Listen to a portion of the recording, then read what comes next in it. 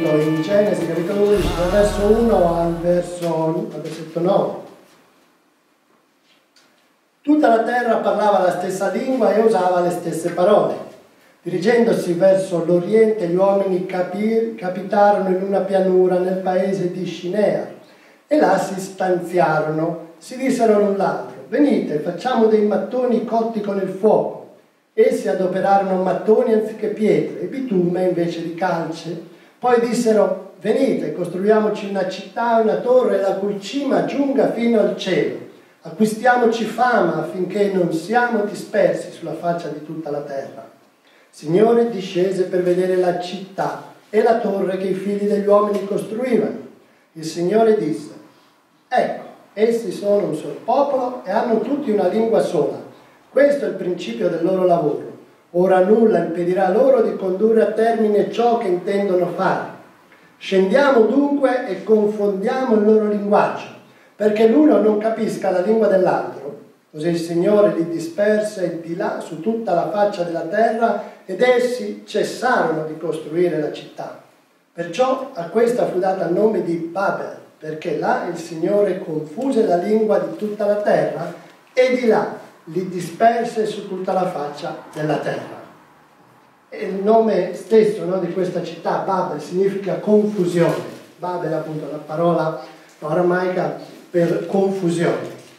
Ma quello che notiamo qui, la prima cosa che notiamo, è che avevano paura di essere dispersi, si preoccupavano di questo, volevano costruire questa città, questa torre, non per arrivare fino al cielo, no, per arrivare fino a Dio, ma la loro paura era quella di essere dispersi sulla faccia della terra. Ed è strano, perché avevano questa paura?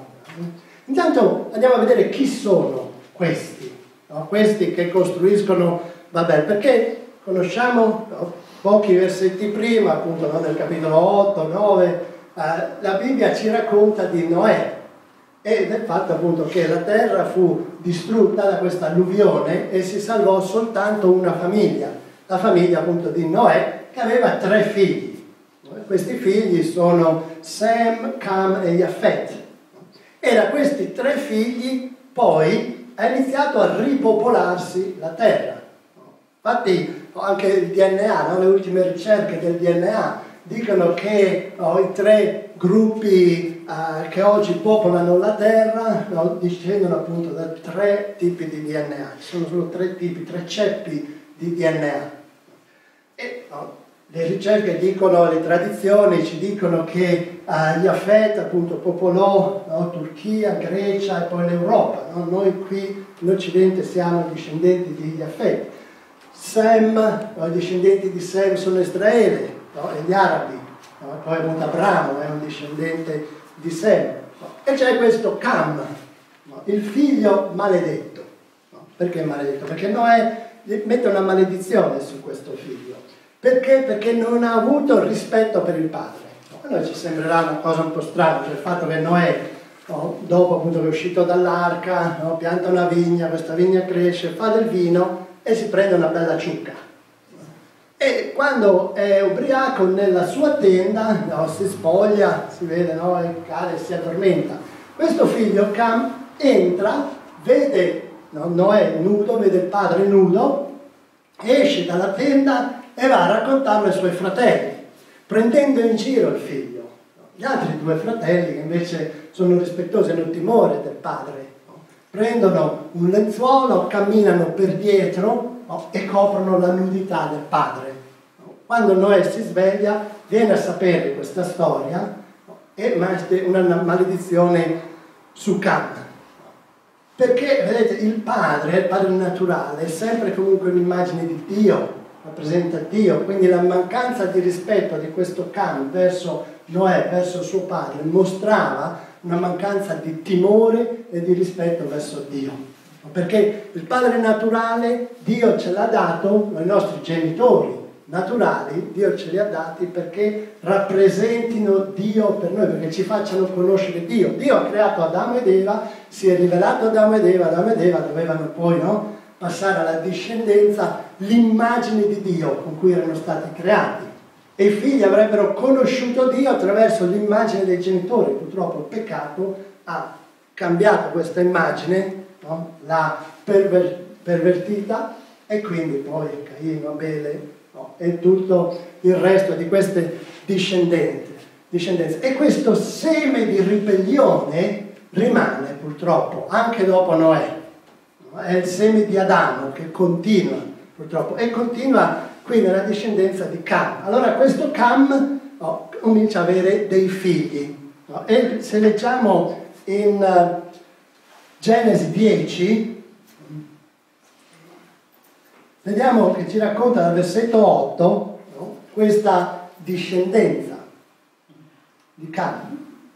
Il figlio di Cam fu appunto Cus e dice che Cus generò Nimrod che cominciò ad essere potente sulla terra. Egli fu un potente cacciatore davanti al Signore, perché si dice come Nimrod, potente cacciatore davanti al Signore. Il principio del suo regno fu Babel. E poi appunto, no? Dice altre città che costruì, ma la prima città che costruì fu Babel. Quindi il costruttore di questa torre, no? di cui no, abbiamo letto nel capitolo 11, è Nimrod, un discendente appunto di Cam. Quindi uno che porta, siamo alla quarta generazione dopo Noè, Noè, Cam, poi c'era uh, un altro, vediamo se l'ho messo, Cus, no? e Cus genera appunto Nimrod. No? Quarta discendenza dopo Noè. E vediamo che questo Nimrod no? si vuole innalzare e si vuole ribellare a Dio. Perché vediamo che si vuole ribellare a Dio? Perché questo Nimrod dice appunto non dobbiamo disperderci su tutta la terra. Questo è esattamente l'opposto di quello che Dio aveva detto a Noè. Ma non solo a Noè, quello che Dio aveva detto ad Adamo, quello che Dio poi dice ad Abramo e quello che Gesù poi dice a noi, cioè di andare in tutta la terra. Dio vuole che ci disperdiamo, cioè che popoliamo tutta la terra, ma andando a popolare tutta la terra, che ci siano scambi, che ci sia un interagire fra i popoli e le persone. Questo è il progetto di Dio. Quando ha creato Adamo e ha detto ad Adamo vai e domina tutta la terra che io ti ho dato, no, il progetto di Dio era che queste generazioni che sarebbero venute fuori appunto da Adamo ed Eva avrebbero popolato la terra e ci sarebbero stati scambi, interscambi tra di loro. Perché? Perché Dio crea ogni essere umano con una specifica, crea ogni essere umano no? con un'abilità, una capacità. Ed è il nostro stare poi insieme e scambiarci le nostre conoscenze, le nostre abilità, che l'umanità cresce. Questo è quello che ci dicono tutte le canzoni, no? Le canzoni che parlano di pace, di stare assieme, c'è quella famosa canzone di John Lennon, no? Ah, se non ci fosse religione, se non ci fosse Dio, se ci amassimo semplicemente così come siamo, senza barriere, senza niente, no? Tutti desiderano questo mondo no? meraviglioso dove non ci sono confini, non ci sono guerre, non ci sono barriere, quello che le religioni no? ci vogliono proporre quello che i politici no, propongono sempre, questa grande pace, no, questo benessere di tutti quanti, creato con gli scambi. No? E sembra che l'uomo, in tutte le epoche, in tutti i tempi, abbia questo desiderio appunto di interscambio, di stare insieme, di non avere barriere. E invece poi la realtà della storia sono le guerre, sono i confini, sono uh, le, i controlli di una persona, un gruppo di persone sugli altri. Questo è quello che la storia ci, uh, ci dice. Come mai questo? Se guardiamo in Genesi 8, al versetto 15, esempio, vediamo quello che Dio disse a Noè per lui e per i suoi discendenti. E Noè sicuramente gliel'ha detto ai suoi figli, che l'hanno detto ai loro figli e ai loro figli, anzi Noè era ancora in vita, ha vissuto no, molto, anche dopo il diluvio, quindi lo raccontava ai suoi nipotini e gli diceva queste parole che lui aveva ricevuto da Dio. In Genesi 8, versetto 15, Dio parlò ancora a Noè dicendo, esci dall'arca tu, tua moglie, i tuoi figli e le mogli dei tuoi figli con te. Tutti gli animali che sono con te di ogni specie, volatili, bestiame, tutti i rettili che strisciano sulla terra. Falli uscire con te, perché possano disseminarsi sulla terra, siano fecondi e moltiplichino su di essa. Vedi? Possano disseminarsi sulla terra. Allora vedete, comando di Dio che si dissemina cioè che si spargono. Dio, cioè Noè lo insegna ai figli, che lo insegnano ai figli, ma quando arriviamo a Nimrod, Nimrod dice no, non ci dobbiamo disseminare sulla terra, dobbiamo rimanere uniti. Vedete qual è il problema della torre di Babele? Il problema della torre di Babele non è che volevano andare in cielo, il problema della torre di Babele è che erano ribelli alla parola di Dio. E il problema dell'uomo è sempre quello la radice del problema dell'uomo è la ribellione alla parola di Dio. Dio dice una cosa, noi vogliamo fare l'opposto. Perché? Perché pensiamo di saperne di più o di sapere meglio. Vediamo che Nimrod vuole fare l'opposto.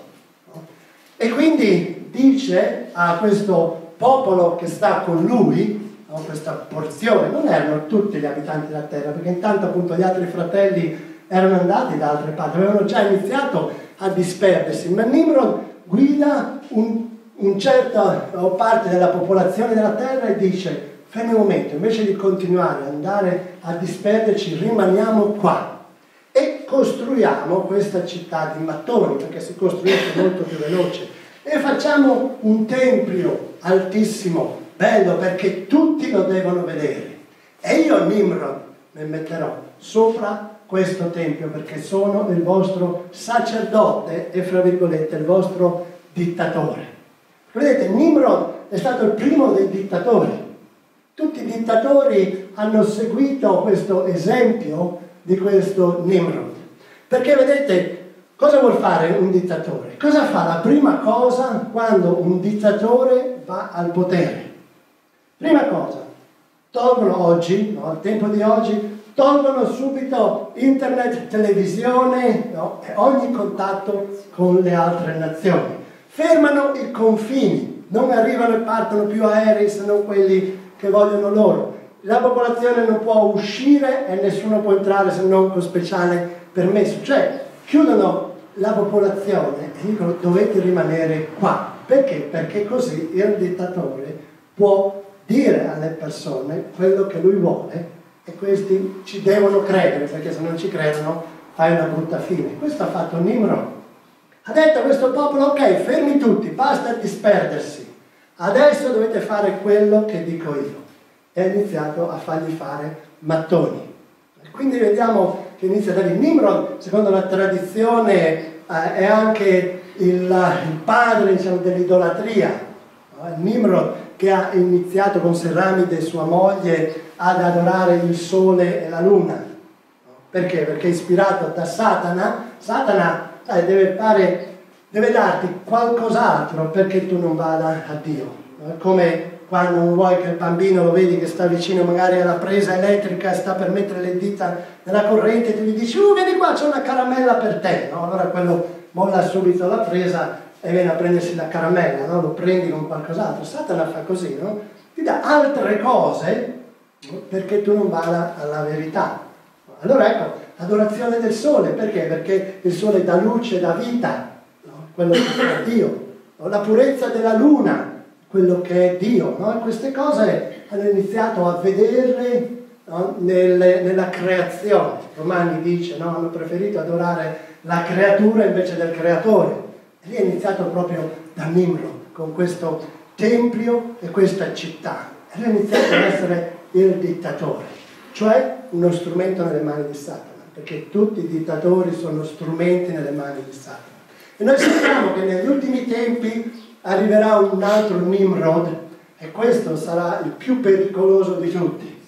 Perché? Perché riuscirà dalla sua torre a governare tutto il mondo, o quello che nella Bibbia viene chiamata, no? questa figura dell'anticristo di questo dominatore del mondo che all'inizio prometterà pace come tutti i dittatori, no? Benito Mussolini ha promesso pace e ha fatto tante cose belle per la nazione, no? fino a quando poi siamo entrati in guerra. Hitler uguale all'inizio perché tutti l'hanno esaltato, tutta la Germania si è unita a lui, perché ha fatto delle belle promesse, una Germania che era messa a terra economicamente, improvvisamente è diventata una potenza mondiale. Quindi arriva quest'uomo che tutti aspettano, che tutti vogliono, quest'uomo che porta pace, che porta benessere, che sistema l'economia, che fa fuori questi politici corrotti e che mette le cose a posto addirittura in tutto il mondo, è arrivato finalmente. Tutti lo esalteranno, questo è quello che la Bibbia ci dice, ma attenzione perché è un altro Nimrod. Un altro Nimrod che nel cuore ha la ribellione, la ribellione dell'uomo. Ma cosa ci dice invece la Bibbia a noi? Cosa ci dice Gesù a noi? In Matteo capitolo 28. Perché se Satana è il dittatore dei dittatori, Gesù è il re dei re. E lui è il nostro re. E noi non saremo mai sotto una dittatura, perché noi abbiamo un re. Un re che ci rende veramente liberi. E in Matteo 28, versetto 18, Gesù è risuscitato dai morti, Gesù adesso si è rivelato perché lui è veramente il Cristo, il Salvatore del mondo e dà un messaggio, le ultime parole ai suoi discepoli prima di salire in cielo, dove è andato a intercedere per noi fino al giorno in cui tornerà. Le ultime parole ai suoi discepoli sono queste. E Gesù avvicinatosi parlò loro dicendo, ogni potere mi è stato dato in cielo e sulla terra. Andate dunque a fare miei discepoli, tutti i popoli, battezzandoli nel nome del Padre, del Figlio e dello Spirito Santo, insegnando loro a osservare tutte queste cose che vi ho comandato. Ed ecco, io sono con voi tutti i giorni fino alla fine dell'età presente. Vedete, non ci ha detto di costruire templi, non ci ha detto no, di raggrupparci, ci ha detto andate, andate a portare questo messaggio meraviglioso che c'è una vera libertà, che c'è la vita eterna, che c'è il modo per poter tornare a Dio, non attraverso una torre di mattoni, non attraverso le nostre opere, perché i mattoni rappresentano le nostre opere, non attraverso le opere religiose, ma attraverso la fede. Infatti per comprendere questo andiamo a vedere perché costruirono il mattone. Perché vedete, dice, tornando lì in Genesi, che iniziarono da quel momento, divenne l'idea geniale di costruire il mattone, invece di costruire con le pietre, iniziarono a fare dei mattoni, iniziarono a costruire un mattone. Ma cosa rappresenta il mattone? Il mattone rappresenta le nostre opere, perché in natura non lo trova il mattone, il mattone è sempre l'opera dell'uomo e rappresenta anche la schiavitù. Vi ricordate il popolo di Dio in Egitto? Che cosa gli fece fare il faraone? Mattoni, per costruire le città del faraone. Vedete, torna sempre lì.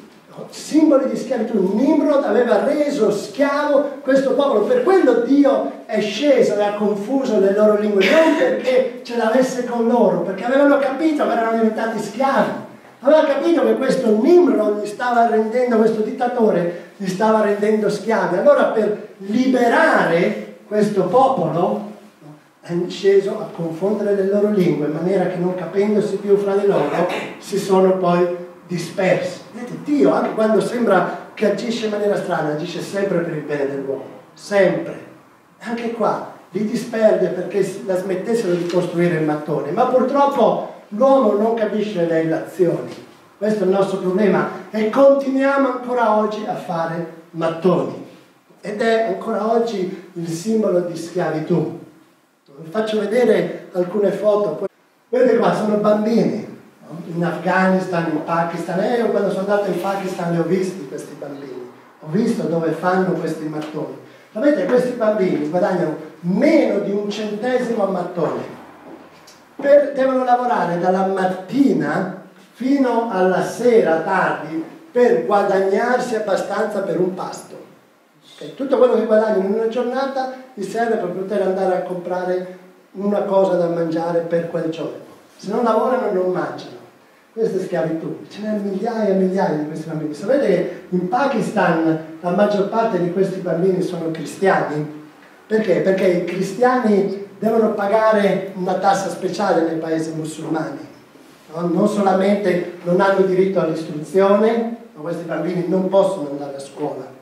Infatti no, quel ministero con cui appunto ho lavorato in Pakistan no, vanno lì dove costruiscono i mattoni e gli danno l'istruzione a questi bambini sul posto, no? dopo che hanno finito di lavorare, ma devono fare attenzione appunto perché ovviamente sono perseguitati.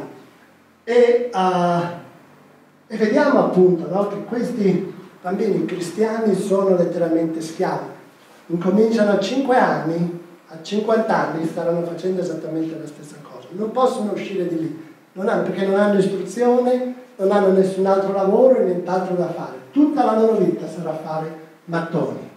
Questa è la schiavitù e c'è ancora oggi ed è sempre con i mattoni. Vedete che le cose non cambiano. Guardate un'altra diapositiva per far vedere che l'uomo non cambia. Va bene, è ancora oggi. Questo è appunto Aur, la città da dove, viene, da dove è venuto Abramo. No? C'è ancora, hanno scavato, no? è venuto fuori questo zigurat si chiama, no? ed è un antico tempio che al suo tempo era, appunto non so se lo vedete qua, era come lo vediamo qua in questa ricostruzione, no? disegno, un tempio enorme, appunto questa scalinata e sopra c'era appunto il tempio ed è rimasta la base, quella che vediamo qua, pensate solamente la base, questa qua sotto, sopra c'erano altri no, tre piani, pensate quanto grande era, tutta fatta di mattoni.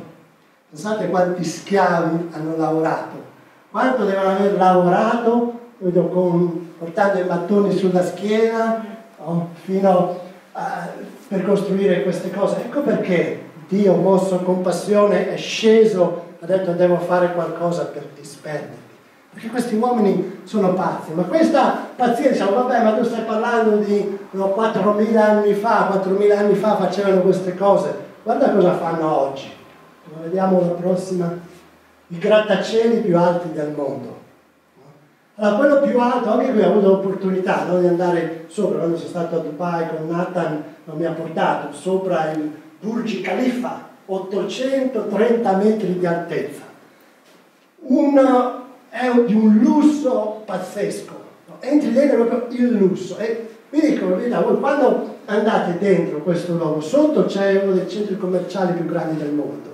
No? Alla, oh, qui a questa altezza c'è tre piani dell'albergo di Armani, uno degli alberghi no, più lussuosi del mondo.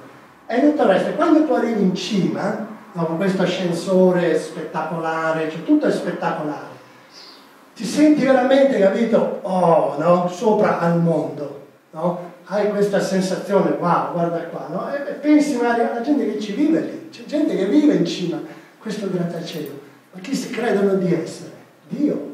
Hanno il potere, gente talmente ricca che non sanno neanche loro cosa fare, no? qui è no? l'immagine proprio no? di questo grattacielo più alto del mondo. Ma sapete che oggi stanno costruendo un altro grattacielo, sempre lì vicino a Dubai, che sarà alto un chilometro.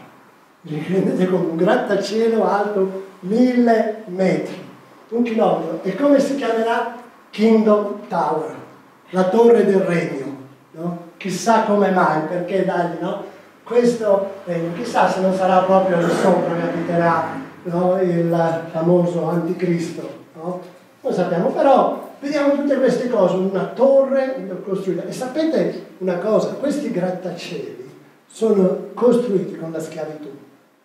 Perché la cosa appunto che Nathan non mi raccontava di no, a Dubai, che gli operai che usano appunto no, per costruire questi grattacieli e tutto questo lusso incredibile, sono tutti indiani africani per lo più?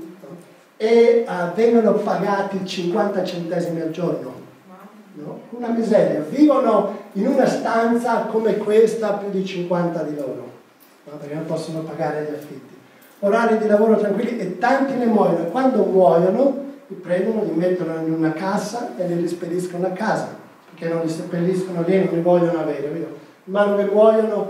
Quando ero, quando ero lì ho visto no, dei ragazzi a questa altezza qua, appesi a un filo che pulivano i vetri, erano 5-6 di loro, appesi a un filo a 500-600 metri di altezza, 40 gradi, no? immaginatevi il caldo di queste date, sotto il sole con un elmetto, con una tuta appeso a un filo a pulire vetri a 500-600 metri di altezza. Ma sono cose allucinanti, questa è schiavitù. È la schiavitù moderna, nessuno sa, la gente va lì e fa le foto al lusso, dice guarda l'uomo che cosa è capace di fare. Sì, ma alle spese di chi? Sappiamo che tutte le ricchezze, no? la ricchezza dell'Europa dall'Ottocento oh, fino a oggi è stata fatta sulla schiavitù, la schiavitù degli africani, la schiavitù no? degli asiatici e tutto il resto, grandi imperi no? dell'Inghilterra e dell'altro, perché è sempre quello, la ricchezza di uno significa sempre la povertà, la sofferenza dell'altro. Però la Bibbia dice che Dio ha fatto ricco per il povero.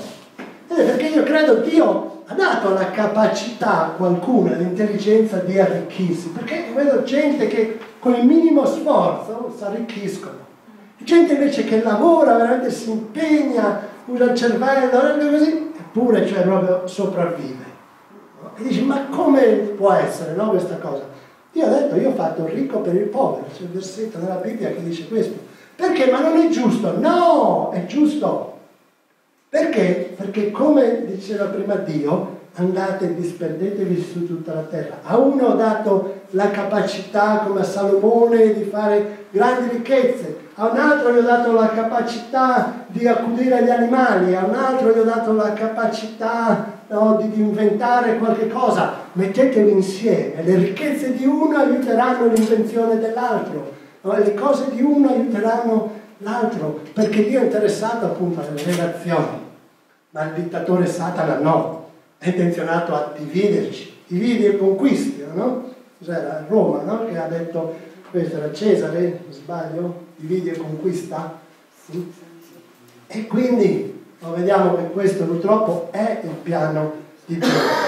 Ma se da una parte vediamo che l'uomo costruisce con mattoni no? e costruiamo queste grandi grattacieli con i nostri sforzi, Dall'altra parte vediamo in Apocalisse che c'è una città costruita da Dio, che è preparata per noi. Vogliamo vederla insieme, Apocalisse 21, dal versetto 10. Guardate la differenza fra la confusione di Babele e i mattoni e la schiavitù di quel Zigurat e di quella città alla città che Dio ha preparato per noi. Apocalisse 21, versetto 10. Egli mi trasportò in spirito su una grande e alta montagna e mi mostrò la santa città, Gerusalemme, che scendeva dal cielo da presso Dio. Con la gloria di Dio. Il suo splendore era simile a quello di una pietra preziosa le mura erano costruite con diaspro e la città era d'oro puro, simile a terzo cristallo. I fondamenti delle mura della città erano adorne di ogni specie di pietre preziose. Il primo fondamento era di diaspro, il secondo di zaffiro, il terzo di calcedonio, il quarto di smeraldo, il quinto di sardonico, il sesto di sardio, il settimo di crisolito, l'ottavo di berillo, il nono di Topazio, il decimo di Crisopazio, l'undicesimo di Giacinto e il, dodicesimo di Ametista. Le dodici porte erano dodici perle e ciascuna era fatta da una perla sola. La piazza della città era d'oro puro, simile al cristallo trasparente. Nella città non vidi alcun tempio, perché il Signore Dio Onnipotente e l'agnello sono il suo tempio. Vedete la differenza con Babele? Qui tutto è costruito con pietre, con metalli e pietre preziose che Dio ha creato e ha preparato per l'uomo, perché l'uomo ne possa godere.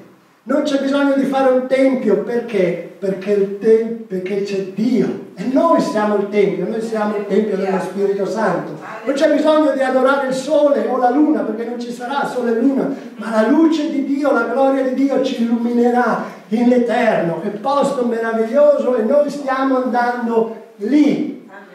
E allora noi ci affatichiamo a costruire mattoni. Io sono friulano, in Friuli c'è una malattia molto particolare, insomma, è un virus che prende tutti, proprio del DNA, tutti i friulani, e si chiama mal del Madon. Mal del Madon significa male del mattone. Il friulano da sempre ha quello di costruire case. Il friulano deve costruirsi una casa, per forza. No? Da quando sei piccolo te lo mettono in testa, tu devi costruirti una casa. Si chiama no? in dialetto mal del Madon. No? Questo di fare mattoni e costruire case. Ed è un male però, invece non è solo dei friulani, è universale. Quello di lavorare, lavorare, dobbiamo fare, dobbiamo fare, dobbiamo costruire, chi ha la casa più bella, chi ha la casa più grande, chi ha il villone con 50 stanze, allora io devo fare la dependance perché me ne servono 51, no? E siamo in gara continuamente, uno con l'altro, per creare il grattacielo più alto dopo che avranno finito quello di un chilometro, arriverà un'altra nazione a dire noi facciamo quello di un chilometro e un metro, così li freghiamo tutti quanti. No? È la natura di Nimrod. Ma Dio dice guardate il posto che io vi ho preparato. E Abramo, no? che veniva da Ur, quindi aveva visto quei zigurati, aveva visto gli schiavi lavorare per costruire quel zigurat che abbiamo visto nella foto prima, questo tempio enorme, Invece guardate cosa dice Ebrei capitolo 11 di Abramo che è uscito da Ur dei Caldei per andare a Canaan nella terra promessa. Ebrei 11 versetto 9 dice di lui per fede soggiornò nella terra promessa come in terra straniera, abitando in tende come Isacco e Giacobbe, eredi con lui della stessa promessa nel versetto 10 ce lo spiega perché. Perché aspettava la città che ha le vere fondamenta, il cui architetto e costruttore è Dio. Vedete, Abramo aveva visto il zigurat di Ur, aveva visto questa torre fatta di mattoni e dice non mi interessa, può essere bella, può essere potente, può essere tutto quello che volete, ma a me non mi interessa quella torre. Io so che Dio ha costruito una città per me e per i miei discendenti. E io abiterò in quella città e allora sa di essere un pellegrino in questo mondo. Infatti Abramo è pellegrino in questo mondo, come tutti noi cristiani che siamo per fede figli di Abramo, siamo pellegrini in questo mondo. Non facciamoci ricchezze su questa terra che periscono, ricchezze che si arrugginiscono, ricchezze che i ladri rubano, Gesù ha detto fatevi ricchezze nel cielo, perché là la ruggine non c'è, là il ladro non c'è, là le nostre ricchezze rimarranno in eterno. Non c'è la banca in cielo, grazie a Dio. No, non c'è Paschi di Siena in cielo, no, non ci sono queste banche, possiamo mettere i nostri depositi là e sono al sicuro. Infatti 2 Corinzi capitolo 5 versetto 1 Paolo scrive, sappiamo infatti che questa tenda, che è la nostra dimora terrena, sta parlando del nostro corpo, la nostra tenda è il corpo, perché è la tenda del nostro spirito, è il luogo in cui abbiamo da vivere qua su questa terra per un po' di tempo. E dice che questa dimora terrena viene disfatta. Quando comincia a superare i 50 anni cominci a rendertene conto, no? E dice abbiamo da Dio un edificio una casa non fatta da mano d'uomo, eterna nei cieli. Ci dice, vedete, hai una casa in cielo. E noi dovremmo essere veramente con aspettativa, vivere proprio col desiderio, come aveva Paolo che dice sempre ai Corinzi, io desidero di andare con il Signore, ma devo rimanere qua, il Signore mi ha detto che devo rimanere qua ancora un po' di tempo perché ho delle cose da insegnarvi, lui aveva avuto delle rivelazioni dal Signore Infatti non scrive le lettere che oggi noi abbiamo nel Nuovo Testamento. Paolo aveva questa missione, ma lui dice non vedo l'ora di lasciare questa tenda, non vedo l'ora di lasciare questo corpo. Per morire, e il morire per Paolo era guadagno, perché sapeva dove andava, per quello.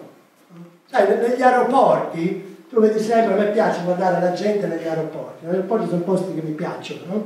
E vedi, la gente, una cosa che mi piace osservare e capire chi sta arrivando e chi sta partendo. No? No? Quelli che partono sorridono, sono sempre più contenti, sono sempre no, li vedi più entusiasti, no? che stanno andando magari in ferie, stanno andando no, da qualche parte bella. Quelli che arrivano magari ritornano appunto da una bella ferie, da una vacanza, da qualcosa e devono tornare alla routine di tutti i giorni, non c'è magari tutto questo entusiasmo. Ma noi nella nostra vita dovremmo avere sempre l'entusiasmo di quello che sta per partire, di quello che sta per andare in un posto meraviglioso no? in un posto bellissimo, perché infatti è lì che stiamo andando. Gesù ce l'ha promesso, concludiamo con Giovanni 14, dove Gesù ci fa questa promessa meravigliosa, proprio guardando alla Gerusalemme celeste, a questo paradiso, questo luogo meraviglioso, questa città che Dio ha edificato con pietre meravigliose non con il sudore il lavoro dell'uomo. Giovanni 14 dal versetto 1 Gesù ci dice il vostro cuore non sia turbato, non preoccupatevi delle cose di questo mondo, abbiate fede in Dio. La fede è sempre l'opposto del turbamento. Turbamento è mancanza di fede, fede è mancanza di turbamento. E abbiate fede anche in me. Nella casa del Padre mio ci sono molte dimore, se no vi avrei detto forse che io vado a prepararvi un luogo? Cioè vi avrei detto una bugia? Sono io bugiardo? Satana è il padre della menzogna, ma Gesù è verità. E quindi nel versetto 3 dice, quando sarò andato e vi avrò preparato un luogo, tornerò e vi accoglierò presso di me, affinché dove sono io siate anche voi. E del luogo dove io vado sapete anche la via. Più chiaro di così, non so come Gesù avrebbe voluto dircelo. Io vado a prepararvi un luogo. E se non fosse così non ve l'avrei detto, non vi illuderei. Gesù non è venuto nel mondo per illuderci. Invece come alcuni che dicono che la nostra fede è un'illusione. Il cristianesimo è per quei poveracci che non hanno niente in questo mondo, o per quei bambini che fanno mattoni, o per quelli che non hanno niente, allora sperano appunto in un domani in qualcosa. Quanti no? ci accusano di questo? Ma no, la nostra fede non è nella speranza di qualcosa di meglio, la nostra fede è in Cristo Gesù, è Lui, nella Sua parola. E siccome Lui ci ha detto, sì, non preoccupatevi, venite con me, vi porterò con me, sono io che vengo a prendervi, o quando lasciamo questo corpo perché è il momento di andarci, no? perché ci sarà il rapimento, come sarà sarà, ma lui verrà a prenderci personalmente per portarci nella casa del Padre, dove avrà preparato una dimora per ognuno di noi, c'è un luogo dove stare in eterno. E questa è la nostra speranza, questa è la fede cristiana. E quindi smettiamola di guardare a Babilonia. Nell'Apocalisse c'è anche scritto uscite fuori da Babilonia Uscite fuori dal sistema di questo mondo. Uscite fuori dal fare mattoni, dall'affaticarvi, a cercare di conquistarvi un posto, una posizione in questo mondo. Uscite fuori da quel sistema e vivete per Cristo. Siate come pellegrini in questo mondo, sapendo che siamo di passaggio. La cosa migliore che noi possiamo lasciare, l'eredità migliore che noi possiamo lasciare in questo mondo sono i frutti della nostra fede. Come quelle generazioni di cristiani prima di noi che ci hanno lasciato i frutti della loro fede, come Paolo che ci ha lasciato quelle lettere in cui oggi possiamo edificare la nostra fede. Anche noi possiamo lasciare qualcosa per fede per le generazioni future, ma noi ce ne andremo. Presto o tardi ce ne andremo e saremo per sempre col Signore. Quella è la nostra meta, questo è il nostro vivere, vivere per Cristo.